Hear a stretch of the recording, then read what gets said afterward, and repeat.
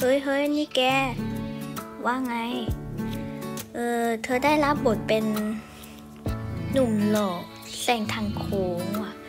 แกต้องทำเสียงให้เข้มที่สุดที่แกสามารถทำได้เนี่ยไม่งั้นไม่ใช่พระเอกแน่ๆ แต่แต่ทำไมต้องเป็นฉันนะก็เพราะว่าแกดัดเสียงได้ดีที่สุดเลยอะดีดีที่สุดในโรงเรียนเลยอะโอเคโอเคก็ได้ เฮ้ยนี่แกอืมว่าไง ฉันต้องอัดเสียงเป็นพระเอกอะ